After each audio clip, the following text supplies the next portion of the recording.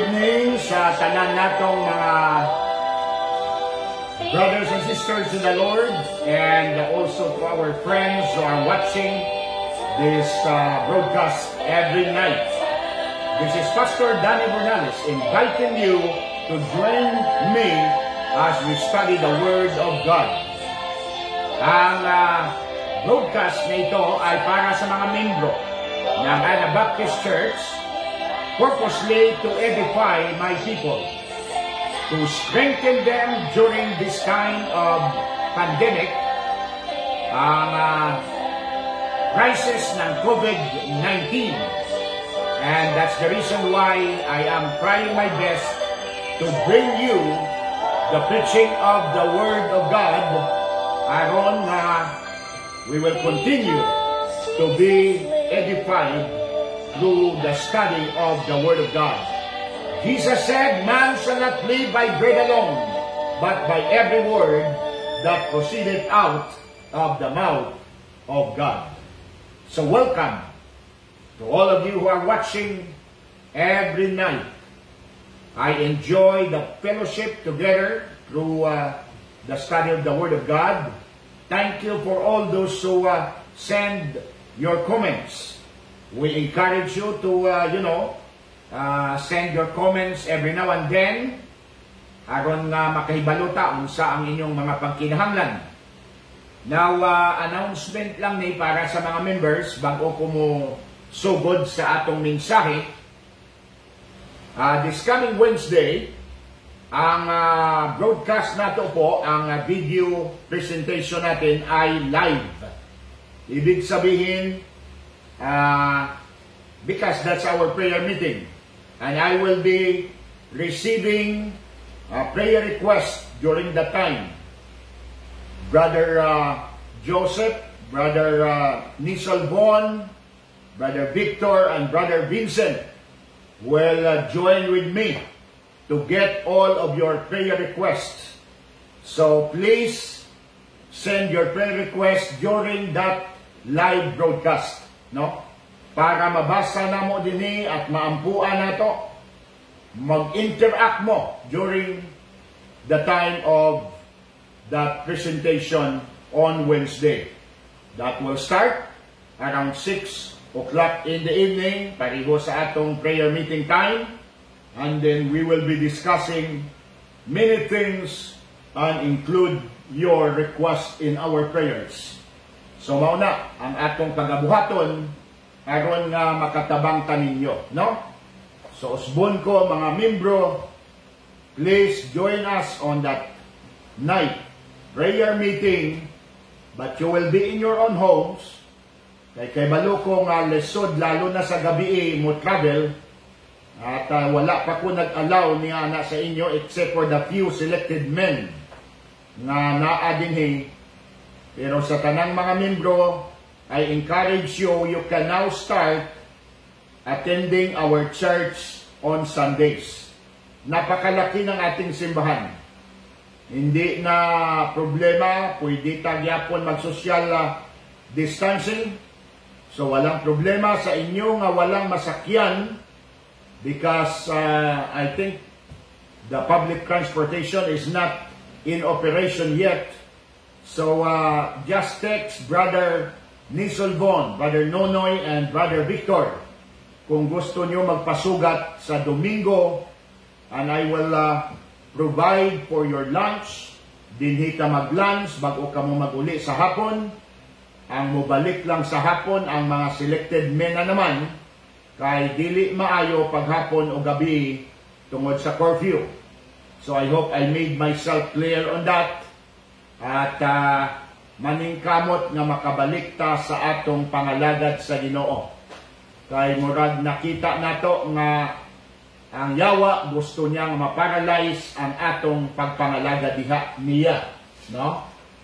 Now, uh, this is part 2 of uh, what I have discussed uh, few uh, you know, few days ago. Kung nahinumduman ninyo ang atong topic, yung where are you headed, no? Asa ka pa dong. And uh, I have discussed that there are two ways, two gates, dalawa lang ang dalan, dalawa ang piltahan, at dalawa ang eternity. And I ended up on that part one uh, message about the uh, eternity in hell, yung eternidad nga ngadto dito sa impyerno. So karon ang atong tan-aw naman ang another side of eternity. And that is heaven. Mauni ang other side. Duwa lang ka eternidad ang adtuan sa tao. There are only two eternities that man has to dwell forever. One is that is hell, and one is what we call heaven. So ang part to ngayon ay hinungod ni sa langit, no? Ingon pa din eh, if you died today, where would you go? Ingon pa sa balaang kasulatan na dalawa ang dalan na padtuan sa tao. Matthew chapter number 7. Broad is the way that leadeth to destruction, while the other way is narrow is the way which leadeth unto life, and few there be that find it. So yaan po ang dapat mahibaw-an nato minungod sa duwa ka lugar. So pangutan ang imong kaugalingon. If you died today, where would you go? Pag namatay ka karon, asa ka pa doon? Do you know the way na itabo na sa panahon ni Jesus Christ nung giingon niya, I am going to heaven, prepare a place for you in a I go and prepare a place for you, I will come again. Nangutana ang isa sa mga disciples, Philip, asked him, We know not whither thou goest, and how can we know the way? Papaano natin malaman ang daan? Jesus said, I am the way, the truth, and the life. No man cometh unto the Father but by me. So we can know the way. I remember a story of an evangelist who was scheduled to preach in an evangelistic crusade in a big city. And uh, according to that story, he arrived, you know, uh, few hours in advance. Dumating siya sa lugar ng mga ilang oras na advance. And uh, while waiting, he remember na mayroon siyang sulat na inimail. Ang sabi niya, I still have time, two hours more before the start of the evangelistic crusade, I still have time, I'm going to mail this letter. So, bumaba siya, he went down to the streets, but of course, because he is new to that place, he doesn't know where the post office was. So nakita niyang bata, he saw a, a young boy. And he asked the young boy and said, Would you please tell me where's the post office? Ang sabi ng bata, Well, you go straight and then you go right and just follow that road, the post office will be at the end. Sundin mo lang ang dalan nga ni, lumiko ka sa to, and then makita mo sa dulo ang tinatawag na post office. So, sabi ng evangelist, thank you very much, boy. By the way, I'm evangelist so and so. I, uh, I am scheduled to preach here in uh, the Coliseum tonight. May I invite you to attend the evangelistic crusade so that I can show to you how to go to heaven. Ang tubag sa bata, the boy said, ang post office lang, hindi mo pa naibawan, hindi mo alam ang langit pa kaya. That's a funny story, but napakalungkot na marami sa tao ang hindi alam kung saan ang daan patutungo doon sa langit. And this will be our study tonight.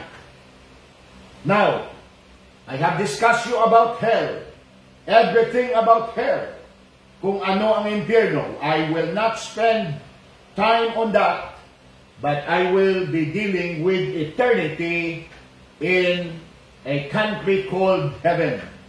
Ano ba ang langit? Ano ba ang lugar na ito?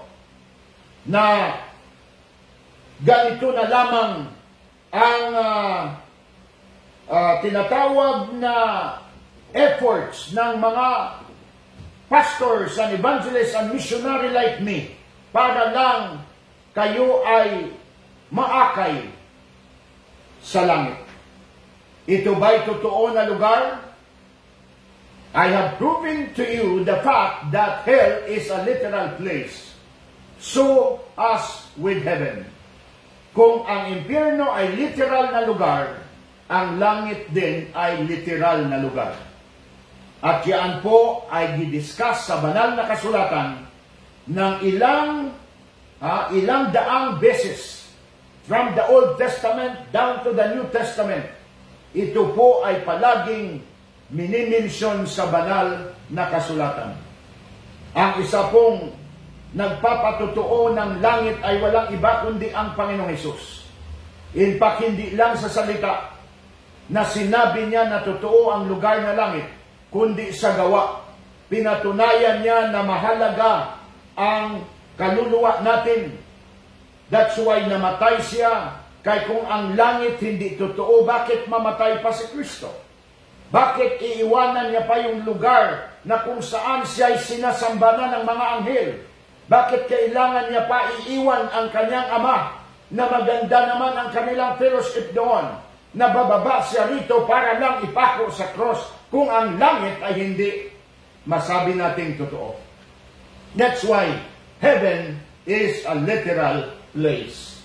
Ang sabi po ng banal na kasulatan, ito ay isang lugar na eternidad. Eternity means walang hanggan. Kung ang impyerno ay eternity, is a place where people will suffer for all eternity, then heaven is a place where people will enjoy with uh, full happiness na wala ng tinatawag na sakit at ano paman. And we will be seeing that in a few moments.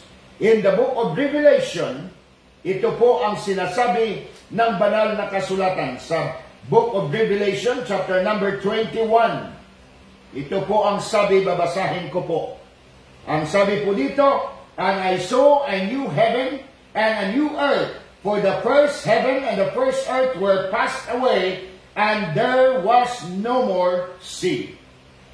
And I, John, saw the holy city, New Jerusalem, coming down from God out of heaven, prepared as a bride adorned for her husband.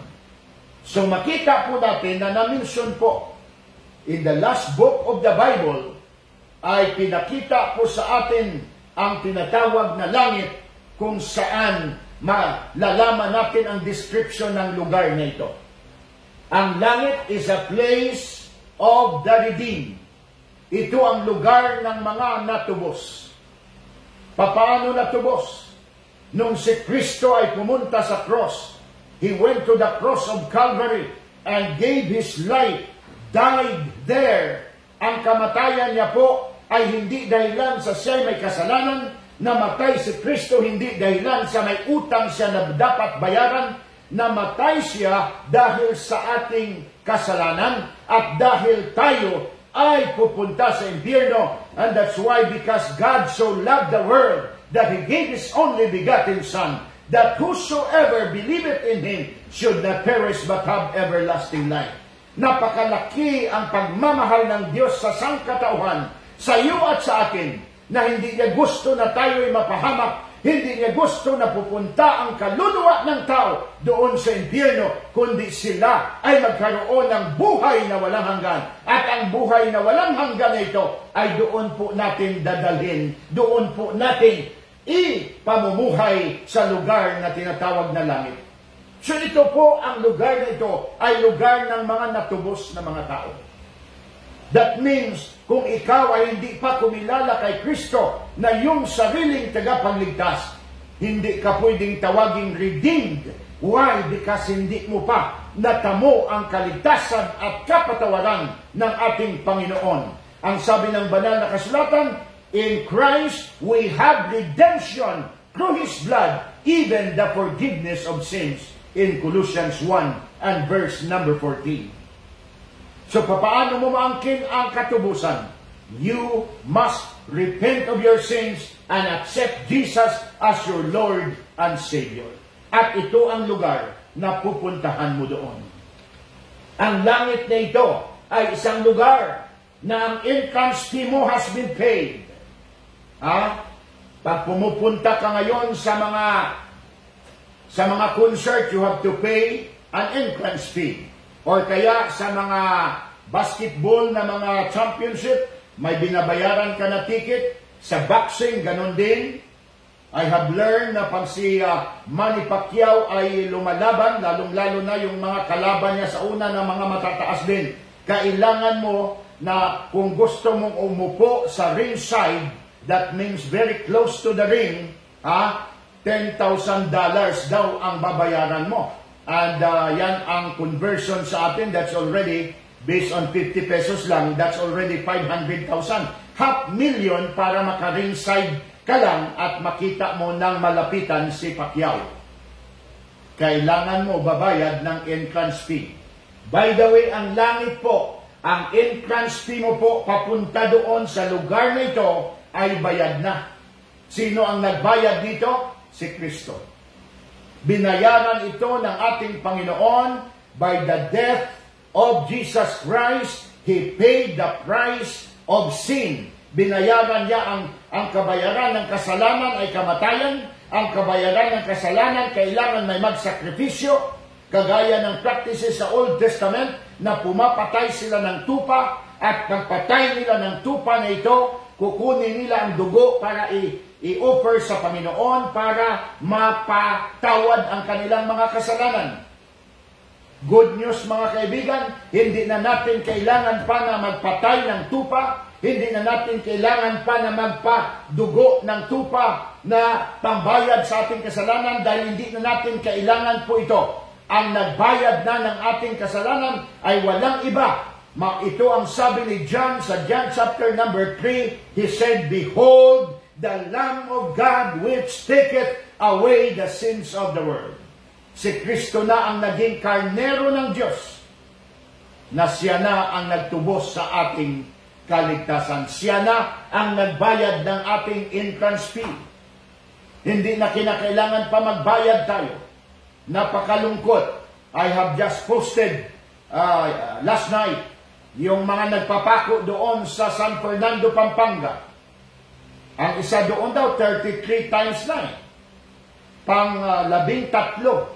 Tatlong uh, put, tatlo na na siya nagpapapako.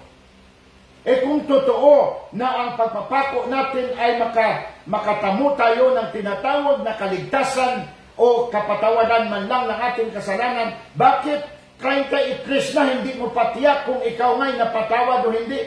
That only shows na hindi mo alam, walang katiyakan na ikaw ay mapapatawa dahil ginagawa mo palagi pabalik-balik.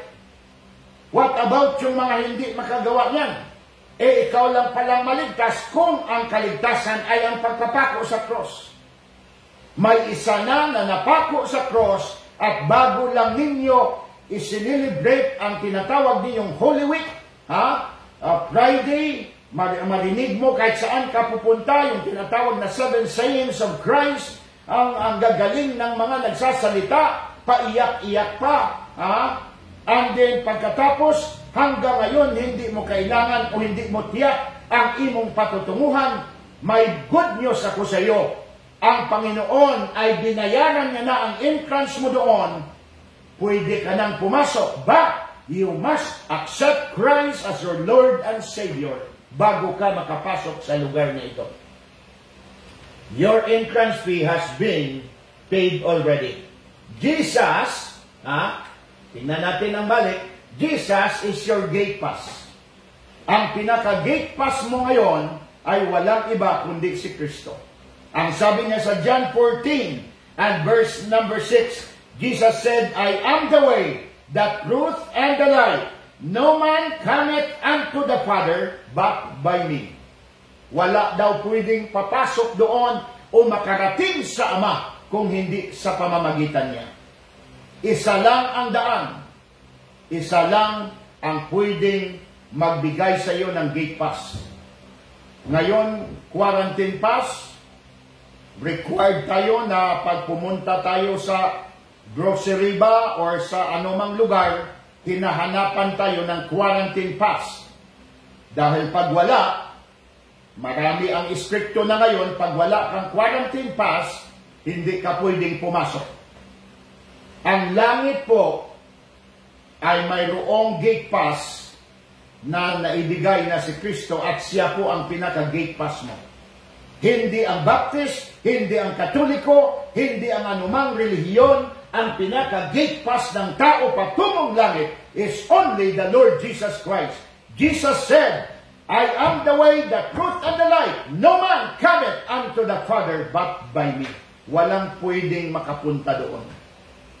Ubusin mo man ang lahat ng mga ministro mo. Ubusin mo man ang lahat ng kakilala mo mga pare.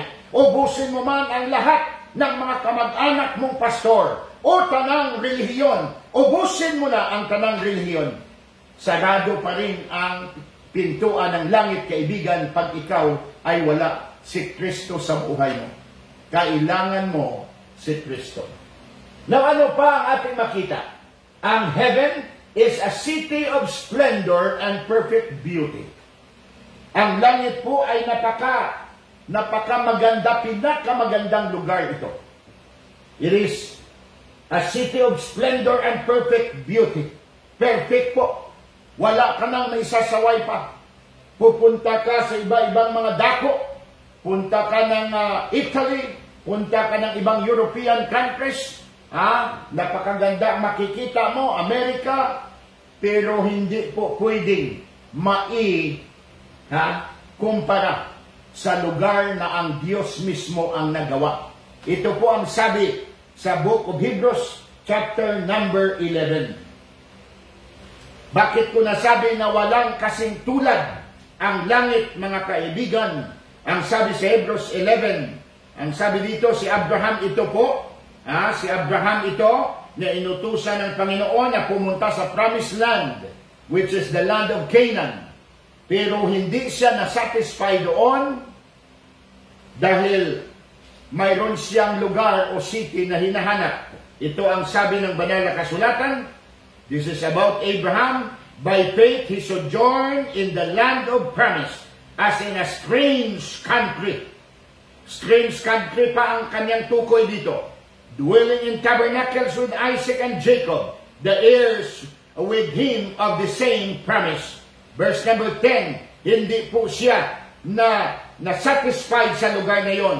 Ano ang kanyang hinahanap? Ang sabi dito sa verse number 10, For he looked for a city which hath foundations, whose builder and maker is God. Ang kanyang hinahanap na syudad ay kung saan ang architect nito, ang naggawa nito, ang nag-design nito ay walang iba kundi ang Panginoon. Now tell me, ubusin mo man ang mga engineers at ang mga architect, pwede mo bang, ha, pwede mo bang ikumpara sa talino ng Diyos, sa kaalaman ng Panginoon? Hindi.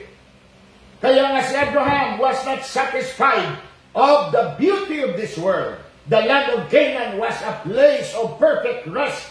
It is a land filled with honey, milk and honey, according to the Bible. And yet hindi siya na-satisfy doon. Ano ang kanyang minimiti sa kanyang buhay? For he looked for a city which had foundation, whose builder and maker is God.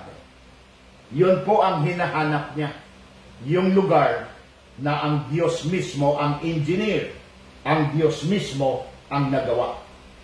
Ang heaven na ito ay uh, you know, describe ni Apostle John kung ano ang heaven na sinasabi ng banal na kasulatan.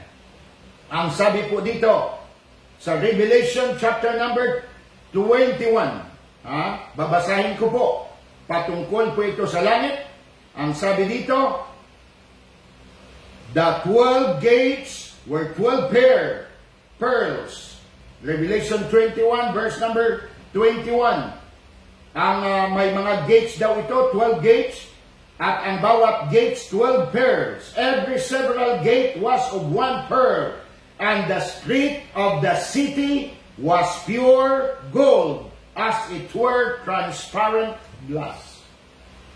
Idaan pa lang po, ang kalsada pa lang ng langit, pure gold na nakagaya ng transparent glass. Kaya nga this is a city of splendor and perfect beauty. Ito ang dapat mong pagsikapan. Ito ang dapat mong paghandaan. Ito ang dapat mong bigyan ng uh, importansya. Lahat na lang tayo minsan nagbibigay tayo ng importansya sa ating mga bank accounts. Paano tayo makapatayo ng ating mansion dito? Paano natin maabot ang dream car natin? Paano tayo magkaroon ng millions na samantala pag namatay tayo dahil limitado lang ang buhay ng tao? Pag namatay tayo, iwanan lang natin ang mga bagay na ito sa langit po ay walang kasintulad kung papaano ginawa ito ang Panginoon, ang Diyos na mismo ang gumawa nito. It is a city of splendor and perfect beauty. Wala ka nang maisasaway pa mga kaibigan. Hindi lamang a city of perfect beauty. Ang lugar nito ay tinatawag na a city of many mansions. Ha?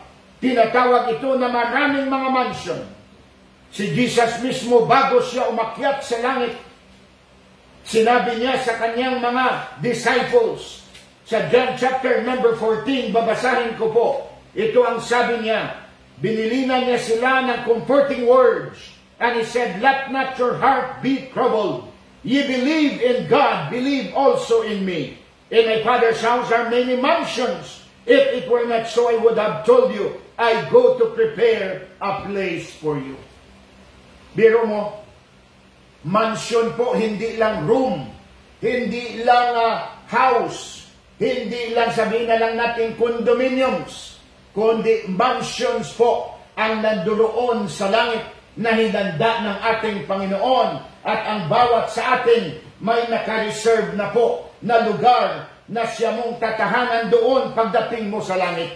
Hindi tayo mag-aagaw po ng mansyon doon. Kagaya nitong mga kadamay na minsan, niraransak nila ang isang subdivision na kahit hindi sila ang mga may-ari, papasukan nila. Ganito ang buhay sa lupa nito, magpapatayan ang tao sa katiting sa kukunti na lupa, sa kukunti na bahay, magpapatayan ng tao. Pag dinidimulis, lumalaban ang mga tao handang magpakamatay sa maliit na barong-barong nila. Magkaibigan, hindi mo kinakailangan magpakamatay sa mga bagay na nandirito kahit anong galing ng mansion mo rito. Maiiwan mo yan. Iiwan mo pagdating ng kamatayan ang siguraduhin mo na ikaw ay nakatanggap kay Kristo na iyong sariling tagapagligtas dahil pag ikaw ay kumilala sa Kanya at tinanggap mo siya na iyong sariling tagapagligtas, one day you will be in heaven and you will have one of these mansions at wala nang tinatawag na pighati, wala nang tinatawag na luha. Ang lahat doon ay kagalakan, kasiyahan for all eternity. It is a city of many mansions. Kaya nga ang sabi dito po sa 1 Peter chapter number 1, ang sabi po dito, to an inheritance. Ang mga inheritance ninyo, incorruptible, hindi nasisira, undefiled, ha? hindi namamantsahan. Pag undefiled, meaning, like ang tanso, kahit na ang gold nga, minsan kinakalawang pa eh. Ha? Ang ating uh, inheritance doon, ang ating mansion is undefiled. Fadeth not away. Hindi nagpipade. Reserved in heaven for you. Naka-reserve sa langit para sa iyo. Meaning, ang bawat mansion doon, may mga pangalan na ng mga ligtas. Kung ikaw ay kumilala na kang Kristo, na yung sariling tagapagligtas, malalagay ang pangalan mo doon sa mansion na yon na pagdating mo, ay hindi ka pa magpapalista, hindi ka pa mag-a-apply, hindi ka pa gagawa ng ano pa mga, paraan upang mak- makakuha ka ng mansion doon. Dito pa lang, you could have that place reserved for you when you receive Jesus as your Lord and Savior. Sa mga ligtas ka naman, to God be the glory. You must be happy because you have a place that will never rust, that will never fade. It's incorruptible. A city where God Himself is the maker. Pasalamat tayo na tayo'y nakatanggap na at tayo'y tiyak na ng ating kaligtasan. And one day, we will be in that place and live with God for all eternity. Ito po ang lugar na marami ang mga mansyon. Hindi lamang po ang lugar na ito is a city with many mansions. But next, makita natin, it is a city where water is clear as crystal. Nakakita ka na ba ng tubig na parang crystal? Ang sabi po ng banal na kasulatan sa Revelation chapter number 22, babasahin ko po, ang sabi dito, And it showed me a pure river of water of life Water of life po. Clear as crystal, proceeding out of the throne of God and of the Lamb. Napakaganda. Mula sa trono ng Diyos, nagmumula yung tubig na crystal. Water of life po ang tawag nito. Ha? Tubig ng buhay na kung saan magmumula sa trono ng Diyos. Clear as crystal. Yan po ang ating maiinom na tubig doon pagdating natin sa langit. Dito nagha, naghihirap tayo ngayon, naubusan na nga ng tubig ngayon dahil itong lockdown. Ah, and uh, dito lang natin na-appreciate ano ka-importante ang tubig dahil kailangan maghugas tayo palagi para hindi tayo mabiktima nitong mga germs na ito. Natuto na tayong maghugas before hindi ko sinasabi na hindi tayo naghugas, but ikumpara ngayon ay halos palagi tayong naghugas. And that's why we need more supply of water right now. E papunta na po tayo sa summer na marami ang, uh, ang tubig ngayon ay mahirap na hanapin. But sa langit po, hindi mawa, maubusan ng clear water doon because it will proceed from the very throne of God. Doon manggagaling po ang tubig na ito sa trono ng ating Panginoon. Hindi mo problema, hindi ka na bibili ng mineral water, hindi ka na dapat magastos para lang makaimbak ka ng ilang galon na tubig. Ang doon sa langit, libre ang water of life nandoon lamang nagmumula sa trono ng Diyos. What a place, mga kaibigan. What a place for us, saved Christians. Napaka buti ng Diyos sa ating buhay. Not only a city where it proceeded the water of life like crystal, but ang langit po is a city where no need of the sun or the moon because Jesus is the light thereof. Ang ilaw po, ah, hindi na kailangan ang sun daw dito. Babasahin ko po ang sabi ng banal na kasulatan. Ito po ang sabi niya sa Revelation